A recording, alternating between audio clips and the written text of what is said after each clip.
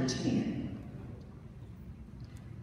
verses 46 through 52 is a familiar passage of scripture.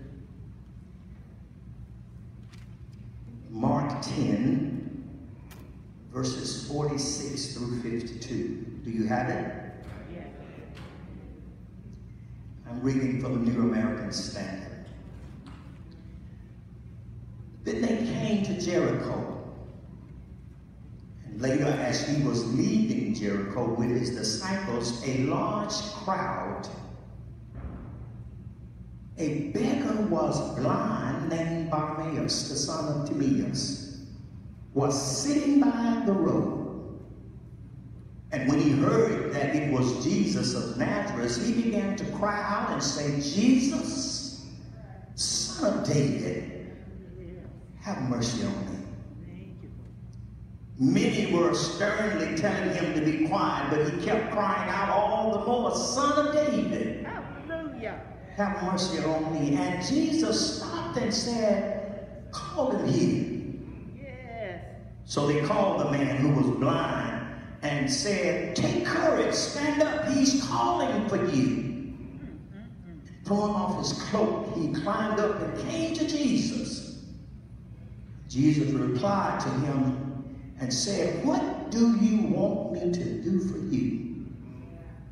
And the man said, who was blind, said, Rabboni, I want to regain my sight.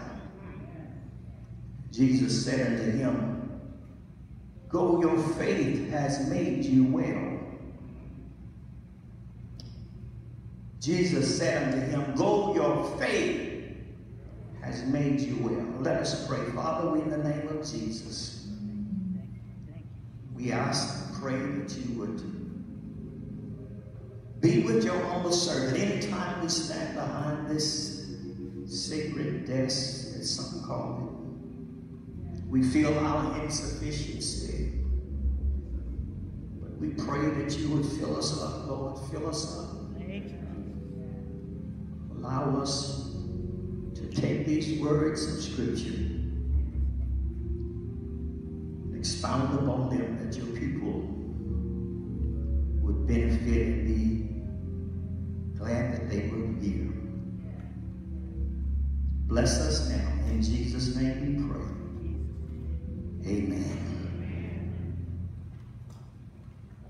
I want to talk this morning about the catalyst of faith produces miracles. Okay, now. The catalyst of faith produces miracles. Let me start by asking, do you believe in miracles? I mean, do you really know miracles happen? We're living in a time where people are quick to say when something unusual happens, they, and to an individual especially, they say stuff like, you sure were lucky. Well, I've seen things in my own life that I didn't contribute to luck. But for me individually and for others, it was described as a miracle. I mean, when you hit the edge of a bridge, flip over several times, get out of your car, you're unconscious and, and, and, and, and, and have no minor, no, no real scratches on you. You, you, you, you out of your mind for a couple of days. When you get a chance to go back and see the vehicle, and after you see it, you realize that even the authorities say it was a miracle. Well, I don't need to let somebody know that miracles are still happening even today. Uh, let me give you an example. A few years ago, a lady who was a single parent was driving on her on an icy road when she lost control of the vehicle. The car overturned into a pond, icy pond, turned upside down. The lady had an eight-month-old baby in the back seat in a child seat. The mother, according to the authorities, immediately drowned because the car was upside down and in the icy waters. It took the emergency vehicles about 35 minutes to arrive on the scene after the police uh, called them. It was obvious to those standing around that there were no survivors. However, once the tow truck arrived, there was a voice that was heard coming from the car saying several times, come and help me. Everyone then jumped into action to get the emergency vehicle from the icy covered waters. And after an additional 40 minutes, they discovered that the child in the back seat might be still alive. Although part of the child's body was in the frigid waters for all that time, the paramedics and others could not even understand how the eight-month-old was still alive. Most of that child's body was immersed in water. Yet they rushed the child to the hospital and she survived not only the accident, but the frozen waters. Plus, nobody could understand keep her head above water. Additionally, the voice that called, come and help me, was a man's voice. The mother perished, but the young girl was able to be given to the next of kin. And, and, and that girl is now approximately three years old. And, and, and listen, I said next of kin, and, and, not because uh, she didn't have a father, but it's, it's not unusual in this day and time. Yeah. Miracles, y'all, are still happening. And our text gives us a picture of the catalyst of how faith produces miracles. I, I, learned in my engineering class that the word catalyst was something that precipitates an event or make changes. The changing temperatures in the atmosphere can cause the weather to conditions to change, and the weather condition temperature changes causes a catalyst that produces tornadoes. Today from the text, we hope to see how faith can be a catalyst that produces miracles. Thinking about the miracles of especially during the time of Jesus in biblical days, during that time, miracles basically came in four categories. Number one, it was faith healing. Number two, it was exorcisms. And number three, it was uh, resurrections. It was control over the natural elements. Our text today comes in the category of faith healing. I, I would argue this morning that miracles always have their sources in God. When he is not the source of a miracle, then they would not happen. And my definition of a miracle is the results of a supernatural agent lacking human explanation. Can I say it again?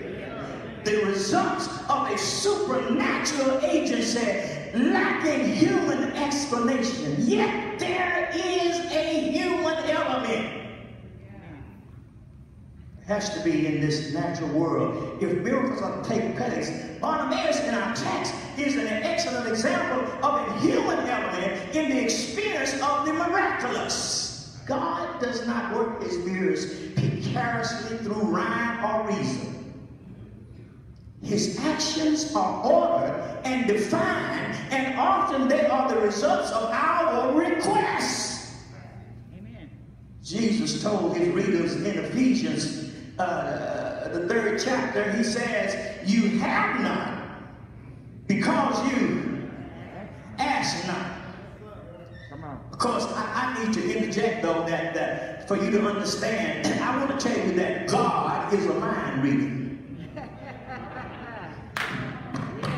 I, I, I said again, God is a mind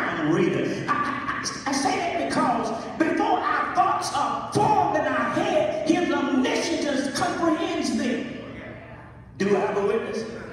But watch this. We are, we, we are to expect that he should satisfy our desires without our asking. Should not expect him to just do it because he reads your mind.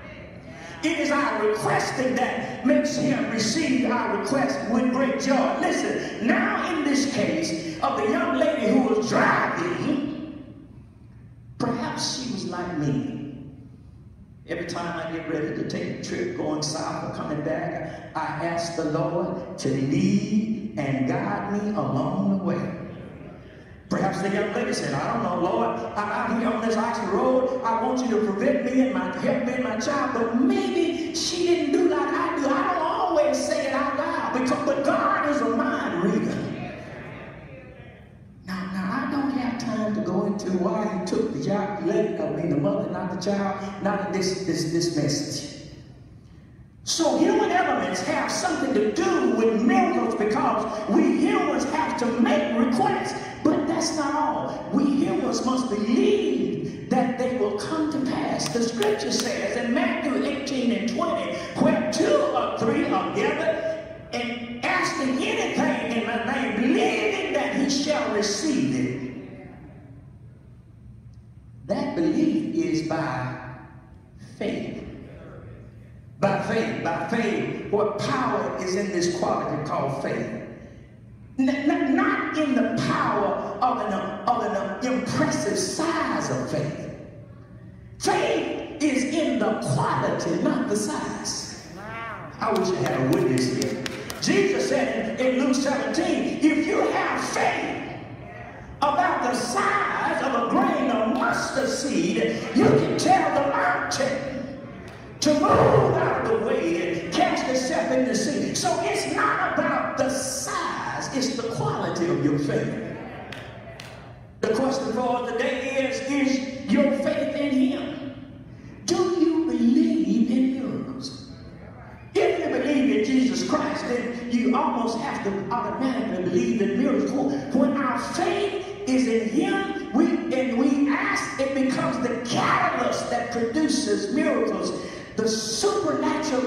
interaction of our lives. Bartimaeus found this to be true. I want us to notice three things. First of all, he had a great need that he could not satisfy by himself.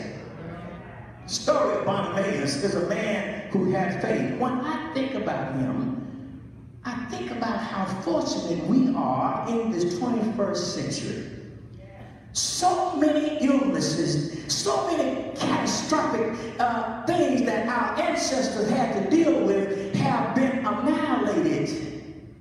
And we don't have to deal with them today. Our life expectancy, has lengthened. The average age of a U.S. citizen it has increased by the turn of the century by, by an average of 35 years the turn of the century. And since then, since the 60s, it has increased by another 35 years.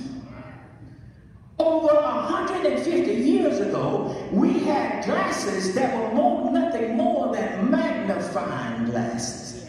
I wish y'all would pray with me. Today we have contact lenses of favorite colors that are soft and stay in your eye and, and for of times Today, our surgeons repairs the retina and the lenses and the corneas, remove the cataracts, and, and as outpatient people. My daughter has had three surgeries on her eye. Her retina has been detached and reattached, and her lens in her eye, one of her eyes, has been out for over two years.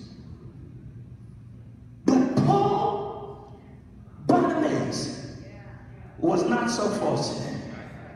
We don't know what, what happened happened to his eye. We don't know about his eye problems, but it really makes no difference since in the first century there was no cure regardless. All we know is that he was blinded. Personally, if I had to lose one of my five senses, I thought about it. I don't know which one would be worse, not hearing or not seeing. But I think I'd rather see. I wish I had a witness. I tell you what I want you to do to me. I, I, know, I know, I know you ain't gonna do it, but I'm gonna ask. Close your eyes. I'll close your eyes just for a minute. Everybody, close your eyes. Just for a moment. Imagine. Imagine with your eyes closed just for a moment. Think about not being able to see the face of your children. The expressions of loved ones in your, in your, on your face, you can open them back up. But most of all, think about how it would change your life completely. You no longer be able to do the things that you're doing. Believe me, your life would be totally different. Do you read the paper? Not if you're blind. Your your lifestyle would be drastically changed. This is the predicament that Bartimaeus experienced. Obviously, he didn't drive a car. He couldn't do what others were doing in the first century. Uh, listen, he couldn't support his family like he should. He couldn't be a carpenter like Jesus. He couldn't be a fisherman like Peter. He couldn't be a tax collector like, like Matthew. All he could do was manage to be a beggar at the gate. Secondly, we notice the text. He brought his needs to Jesus, Jesus, even when it wasn't easy. Mm. We would have to, uh, how should I say this? Okay, here it is. Do you remember my mother and, and, and, and my mother, mother, my father used to say this? She used to say that nothing worthwhile comes easy. Y'all remember that? These words are true. If they were not, the law of physics that govern our world would have to be changed. Amen. Let me show you how I'm talking about it. You would be getting younger instead of getting older. Think about it. If mother's words weren't true. Listen, natural things, instead of the natural things wearing out, they would they wouldn't wear out if these words weren't true. Successes would be simple and failure would be complicated if mother's words weren't true. Listen. We know that life does not work like that. Perhaps, listen, perhaps it was intended to be that way in the Garden of Eden. Amen. Amen. Adam and Eve in the midst of the paradise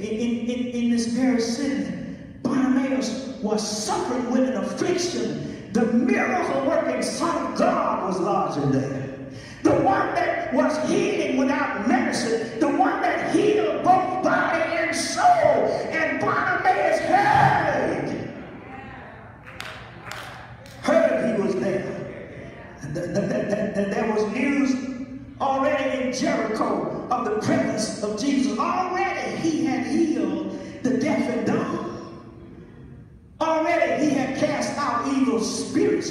Already he had fed the multitude, 5,000 men, besides women and children. Already he had called Dorcas' daughter back from the dead. Already he had walked on the water. And already he had healed the man at the pool of Bethesda, y'all.